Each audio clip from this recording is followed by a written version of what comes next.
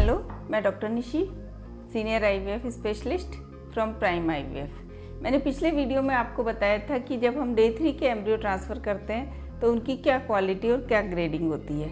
पर हम हमारे सेंटर में डे फाइव के यानी कि ब्लास्टोसिस्ट ट्रांसफ़र करते हैं। जो ब्लास्टोसिस्ट होते हैं, उनकी ग्रेडिंग अलग तरह से की जाती है और उनकी सक्सेस रेट रिज़ल्ट काफ़ी अच्छे होते हैं। जो ब्लास्टोसिस्ट होते हैं, उनको हर एम्ब्रियोलॉजी लैब में गार्डनर मेथड के द्वारा ग्रेडिंग की जाती है।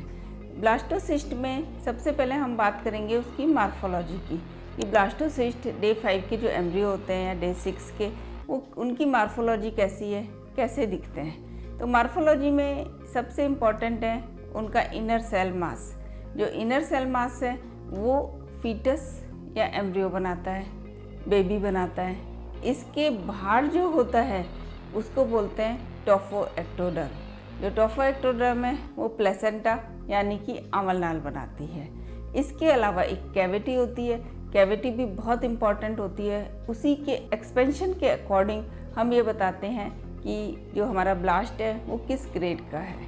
इन तीनों के हिसाब से हम ब्लास्टोसिस्ट की ग्रेडिंग करते हैं। जब पेशेंट्स हमसे पूछते हैं कि मैडम आपने जो हमारा एम्ब्रियो डाला है, वो किस ग्रेड का है? आपने फोर ए बी लिख दिया है। तो ये हमें कैसे पता चलेगा ये गुड क्वालिटी का है या बैड क्वालिटी का है या ये हमें प्रेगनेंसी देगा या नहीं देगा? तो इसके लिए मैं आपको बताऊँगी कि जैसे कि हम लिखते हैं फोर ए बी तो इसमें जो फोर नंबर है, वो आपकी कैविटी को बताता है। जो कैविटी है, उसके एक्सपेंशन के अकॉर्डिंग हम उसको सिक्स भाग में डिवाइड करते हैं। फ़र्स्ट और सेकंड जो होते हैं वो अर्ली ब्लास्ट होते हैं। इसके बाद, दो के बाद जो भी कैविटी का वॉल्यूम होता है, उसके अकॉर्डिंग थ्री, फोर जो होते हैं वो अच्छी क्वालिटी के ब्लास्ट माने जाते हैं और फाइव, सिक्स जो होते हैं वो हैचिंग ब्लास्ट होते हैं। जो ए है, उसमें हम स्मॉल ए उसको कहते हैं, जिसमें कि जो कॉम्पैक्ट सेल्स होता है, इनर सेल मास का, नंबर ऑफ़ सेल्स ज़्यादा होती हैं।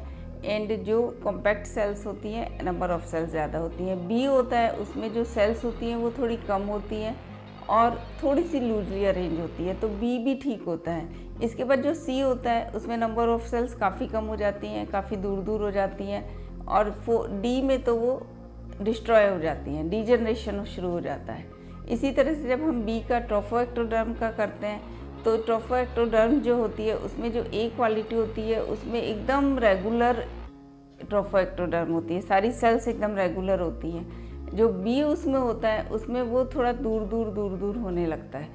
जो सी होता है, उसमें थोड़ा बहुत ही इरेगुलर हो जाता है और डी हमारे किसी भी काम का नहीं होता। इस तरह से आपने ग्रेडिंग में देखा कि जैसे मैंने फोर ए बी बताया तो फोर एक्सपेंशन को ए इनर सेल मास को और बी ट्रोफोएक्टोडर्म को। और इसके बाद मैंने आपको फर्दर किस तरह से हम डिवाइड करते हैं, ये बी बताया। अब आपका इसमें और भी कोई क्वेश्चन हो, या आप कुछ जानना चाहते हैं अपने एम्ब्रियो की ग्रेडिंग के बारे में तो आप मुझे ईमेल कर सकते हैं या सजेशन बॉक्स में जाके पूछ सकते हैं। धन्यवाद।